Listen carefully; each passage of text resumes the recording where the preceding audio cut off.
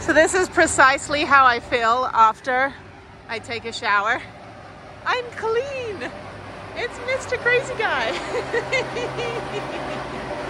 what is wrong with him? He's like, ah!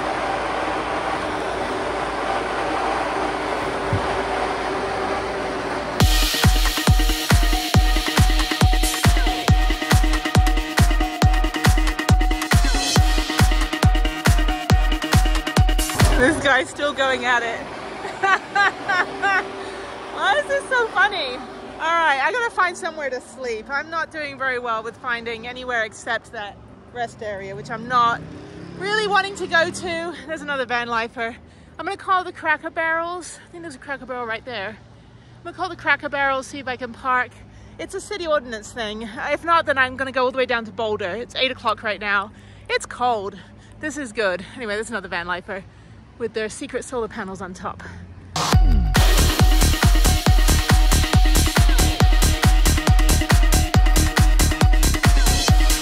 don't know why they make me laugh so much. Actually, one of my co-workers years ago dressed up as one of these for Halloween, like Halloween dress up day at school. He was like six foot nine or something ridiculous, and he started just waving his arms around all day at everybody. It was really funny. Like every meeting, he's just doing the same thing. It's pretty funny. Anyway. All right. I hate drying my hair because because I ruined my hair by dyeing it blonde because the chemicals at, um, at Madison Reed um, basically destroyed my hair. So I don't dry my hair with a hair dryer. I just let it air dry. And then I put like all the moisturizer, like leave-in conditioner and stuff. Doesn't matter. Anyway, I'm going to drive all the way to Boulder, about an hour from here, near the trailhead. I'm to go to the trailhead first. If I can park there, I will. If not, I'll go park outside the hospital. Uh, there's a road where a bunch of van lifers park. So um, yeah, I, I don't like this part of Colorado. It's impossible to find somewhere to park overnight. None of the Cracker Barrels allow it. None of the Walmarts. Um, Bass Pro Shop is all the way down in Colorado Springs. It's the only place I know of.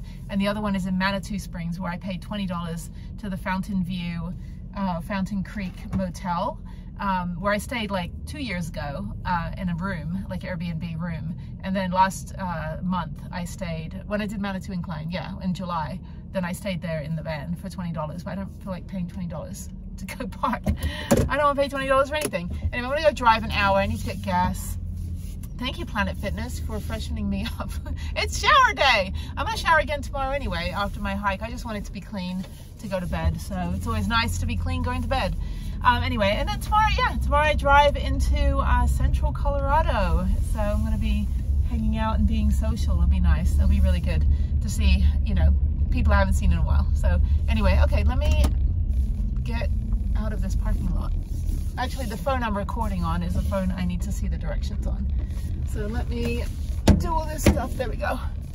Oh, where am I going? I don't know. How do I get out of here? Ooh, they have a uh, soft serve frozen yogurt, but it is cold.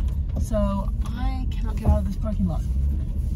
Maybe that's the reason. Uh, Ma'am, you were parked here overnight. I couldn't get out of the parking lot, dude. anyway, um, yeah, and I, I guess I need to look into, it because I'm going to definitely be coming back through here quite often. Um, I could go to the rest area. I just don't feel comfortable because there are people that, you know, camp overnight and stuff. I really can't get out of this parking lot. Hang on one second. Okay, I figured it out. I was driving around. Oh, there's an REI as well. Everything's in this. So, um, Fort Collins, uh, Planet Fitness, there's an REI right there. There's Barnes & Noble, Old Navy. Uh, everything you need is right here, except a place to park.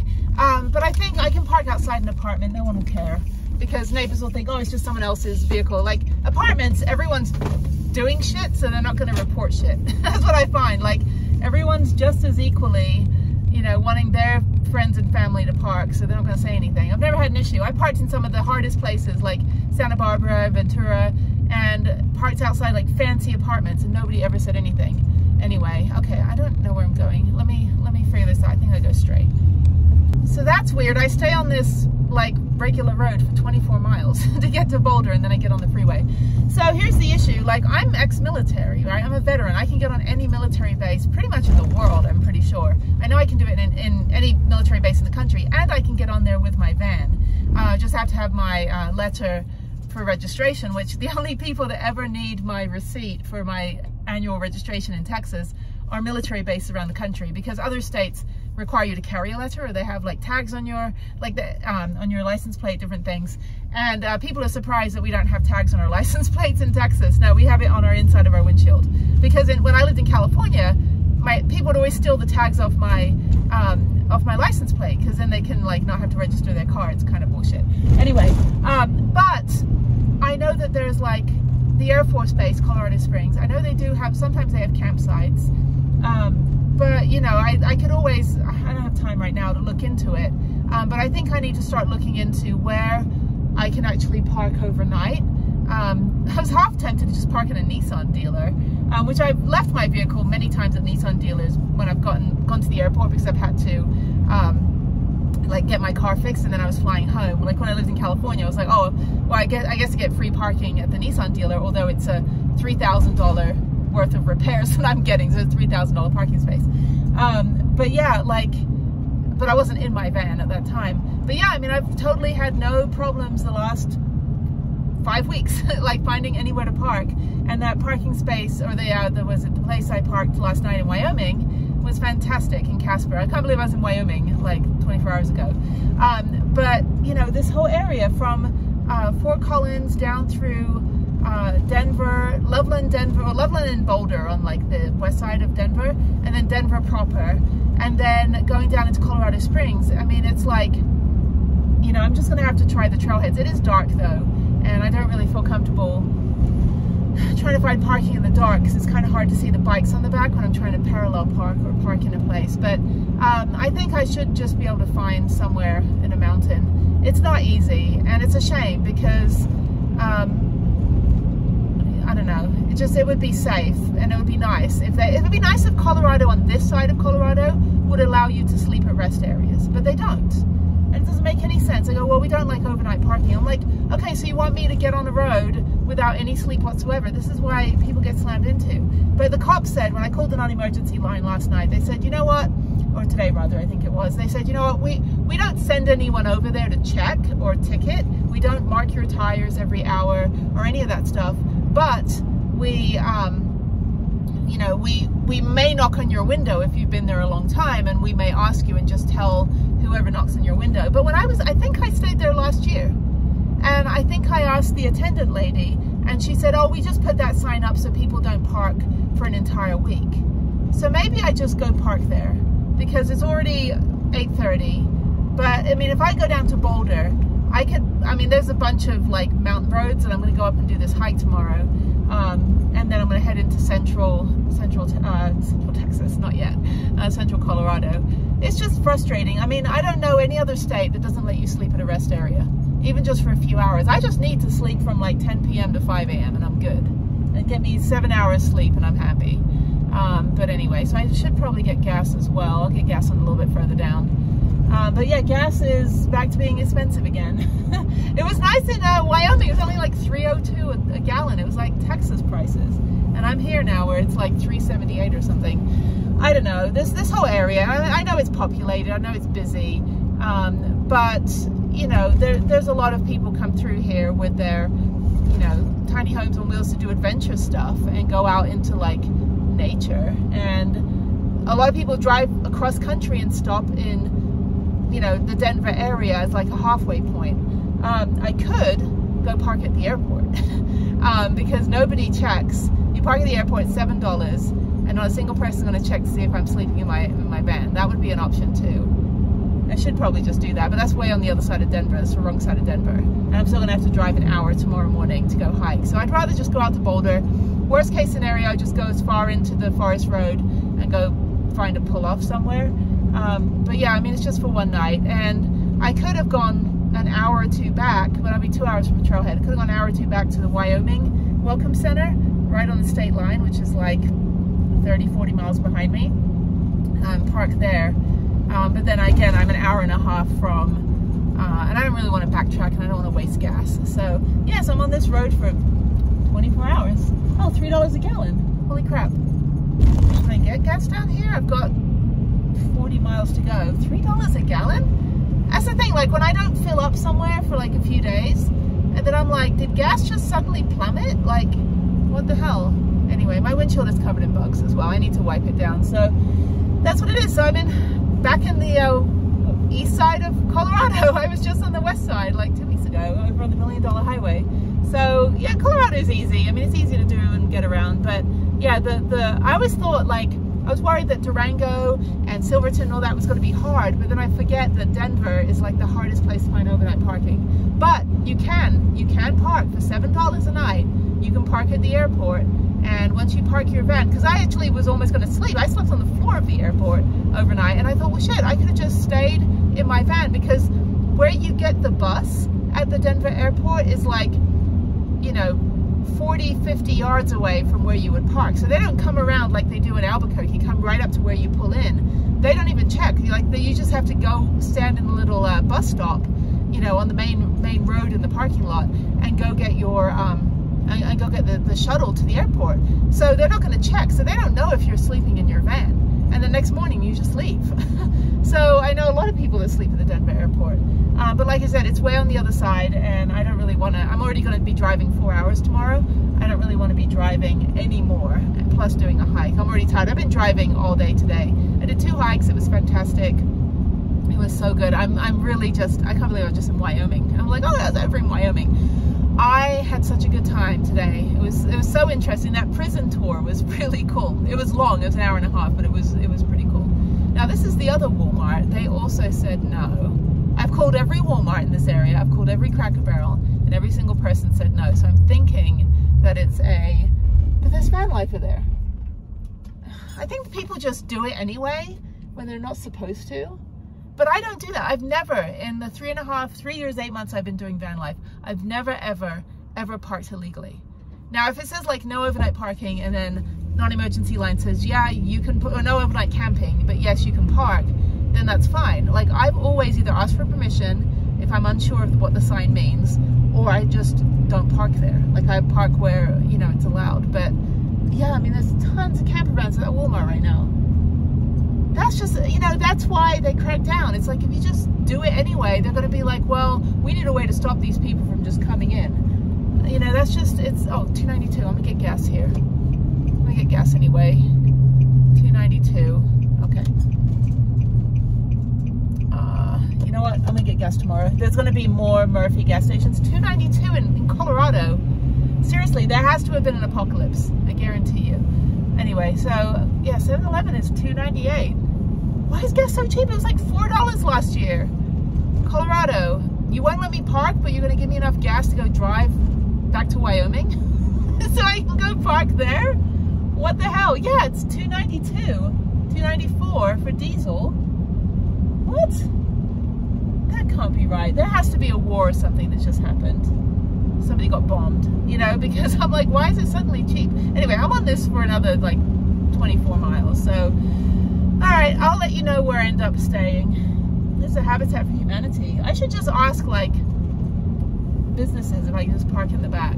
Even like van build companies won't even let you park, like unless you buy their $200,000 Sprinter. Yeah, Sinclair is 292 for the gas. Okay, it's got to be, it's got to be the same down in Boulder. This can't be right. Like Fort Collins and Boulder have to be about the same. I've got gas buddies, so I can always see. Anyway, I'm babbling too much. My hair is drying. I need to make dinner, which I'm gonna have a late dinner tonight. I think I'll just make a cup of tea. And hopefully if I can just park at the trailhead. Trailhead's, here's the thing, trailheads are 24 hours, usually, like especially on BLM, like 24 hours, but they don't let you park overnight. But what if you're doing a through hike? You know, so it's kind of like, that's why it's like open to interpretation. It's like, okay, well, I'm not allowed to park overnight, but I can hike overnight. Oh, I gotta stop here. these lights are weird. And it's a Sonic, maybe I'll get Sonic for dinner. I don't know. Anyway, okay, I will see. I'll see you guys later. Let me figure out where I'm sleeping tonight. I can just park on the street. Anyway, so anyway, just let you know, in Boulder, iOverlander says you can park outside the hospital, which would be perfectly fine. No one's going to ticket you outside a hospital. I'm not going to park in the hospital parking lot because I just think that's like really disrespectful because I've gone to the VA hospital before and I have not been able to find parking when I've had appointments. And so I don't park in hospital parking, but on the street you can park apparently, and there's a bunch of vans. Um, so if I can do that, that would be fine. It's dark enough, no one cares. If that doesn't work out, I can go like 10 minutes to the trailhead where I'll be tomorrow and see if I can park there um, or just find a pullout because um, yeah, it's just hard. It's always been hard. I've been here a dozen times in the last like three and a half years, and it's always been an issue of finding somewhere where I feel safe, where I'm comfortable, where it's legal. Um, but like I said, outside a massive apartment complex would be perfectly fine as well, as long as there's no like permit parking or anything like that. Okay, let me go drive another 20 miles and, uh, and Denver area is massive. You drive 100 miles, you're still in the Denver area. This is kind of like Houston. I'm hungry too and thirsty. So I will see, oh, there's a, yeah, there's another van over there. I keep seeing all these vans parked. I'm like, I just need one space comfortable for the night, you know? Okay, all right, I'll see you guys later. Okay, here is the road with the, with the hospital to my left and supposedly down here I can park. Let's see what this says down here. No parking at any time toward the end. Okay. Right now, let's see, I'm gonna turn around. It's a van lifer. Okay, I'm gonna park behind the van lifer. Perfect, so I'm in Boulder. I'm in Boulder next to the Riverbend Apartments and across from whatever hospital is over here. I don't know civilian hospitals, but anyway. So down here is another van lifer. Okay, there's a uh, car there's a box truck camp box truck camper. And then they okay, they said park at the end of the cul-de-sac. So I'm gonna park down here on this road. I'll park in front of this van lifer. All right, so this is my home for the night. Not bad. I don't think anyone's going to bother me. Let's just make sure the restrictions aren't up. There's a Lime scooter. I really don't know if anybody uses those anymore. Anyway, there's a van lifer from somewhere, Canada, I think. And I'm just gonna park behind this box truck here. There's no restrictions. I kind of want to be in the dark. I don't want to be in the light. Back up. Park in front of this dude. Sorry. I know it's like when guys use the urinals in the uh, public restroom, it's like, dude, don't stand right next to me. I think this is fine. I'm right in front of a big ass light though. I would rather be on the other side of the road. I don't think I want to be in the light. Okay, let me go forward again. Sorry. This is what van life is. I want to be in the dark. But they said park in the cul-de-sac, you won't get bothered, so let me... Uh, let me park in front of that car. The car has solar panels on top of his car. That's awesome. Okay. So let me turn around. Okay. I think the hospital is busy enough not to be bothered with me. Uh, you know what? I'm gonna park behind this dude over here. It's in the dark. I'm gonna park right behind this guy. Behind this guy right here. That is quite... Mm, I should actually turn around. Okay, let me turn around. I'm not gonna park in front of him. I'll go down here and I'm gonna park in the cul-de-sac. I think that's just better. Much, much better. Okay, sorry to wake everybody up. I know it's like 9.30 at night here. Okay, let me go down the other end. It would be better to park in the dark, but anyone coming down the street is gonna shine their headlights. So if I'm down at the end, I'd rather park the opposite direction like on this side of the road. Ah, I should park right here. Don't know what the restrictions are. I should hide behind the box truck actually, so let me do that. That's better. They're like, what's this woman doing? I'm like, I'm parking, dude. I should park behind the guy. But then that would be like people that park right next to you on BLM. They're like, dude, you're like 300 feet away from me. You're too close. that's what the that's my BLM voice. Okay. Some guy's walking, I don't know who he is. Okay, so I'm just gonna go behind the box truck and that should be fine. I don't care if I'm in bright light. All right, this is home. I need a cup of tea, but I'm not gonna make one, it's too obvious. I'm just gonna hide behind this guy. And me back up. Okay. Oh, Denver area, you're too hard for me You make it too difficult. All right, let me check my, I'm sorry to park so close to you, dude. let me make sure that, um, someone actually, uh, anyway, in Pagosa Springs, they like told me I was shining my headlights at them. I'm like, I'm not shining my headlights at anybody. Let me go check. I'll be right back. Okay, I'm in my home, locked my doors. It's cold in my van, but it's like 70 outside. It feels really nice. Okay, I don't think anyone's gonna bother me. Uh, I'll just tell them I have COVID. I've never had COVID, by the way. I, people tell me about their COVID experiences. I'm like, I've never had COVID. I haven't had the flu in years and I'm grateful, knock on wood, you know, knock on my steering wheel. Um, but uh, yeah, I could just say I have COVID and I'm just waiting. Like, I can't drive because I have COVID. So, I mean, I'm outside a hospital, but I don't know civilian hospitals. I'm only in the VA. So I've only gone to civilian hospitals like for my colonoscopy and a couple community care things, but I generally don't know how the system works because in the VA, you just walk in, you give them your last initial, like last name initial and your last four of your social, and then they just say, okay, and like, okay, veteran, go this way. anyway, okay, it's uh, 9.45, I'm going to bed. I'm getting up super early. I'm 10 minutes away from the trailhead, so I'm gonna get up at five and just like maybe just make a cup of tea here. I don't know what time it, I don't know what time it gets, I can't even speak. I don't know what time it gets light here.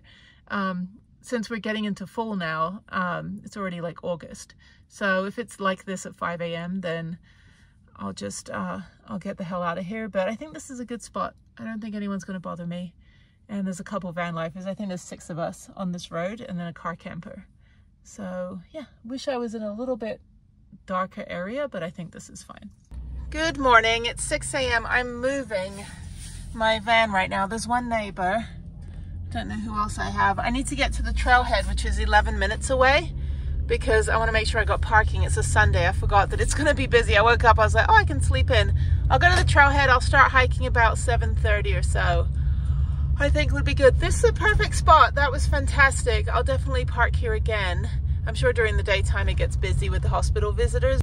Okay, let's go hike and then uh, driving three hours into central Colorado. Oh, go back to bed. Okay, I gotta drink my orange juice. I haven't even eaten anything. I've gotta like just get out of here and get to the trailhead.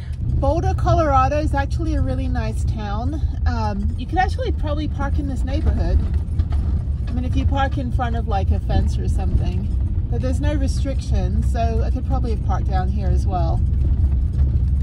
I don't think anybody would have cared. There's some like duplexes and apartments and things, but I figured this is probably a local hike, so there'll probably be dogs off leash, but there's dogs on leash there. Yeah, it's just like, anyway, um, yeah, I probably could park in front of this church. Okay, I'll remember this next time. This might be better than the hospital. But yeah, you can park all the way down here okay, this is great.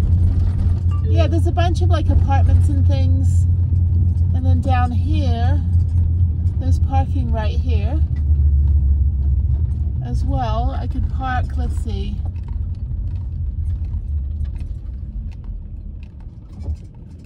Compact car parking. Okay, so let me see if there's parking at the trailhead. This is really nice. Yeah, Boulder's kind of a cute little downtown on Broadway. Uh, lots of like little shops and things you can walk around. Um, and then down here is like the fancy homes. So let's see up here. And this is the Sanitas something loop. It's supposed to be a little bit difficult, but that's fine. I'm, I can do it. And then this is the trailhead over here. Yeah, I figure it's probably going to get busy Sunday morning. Already is busy. It's only like 6 a.m. So yeah, let me park in here. Oh wow, the parking lot's already full. The Centennial Trailhead is where we're at. So let me get parking. Oh, I hope there's parking. Okay,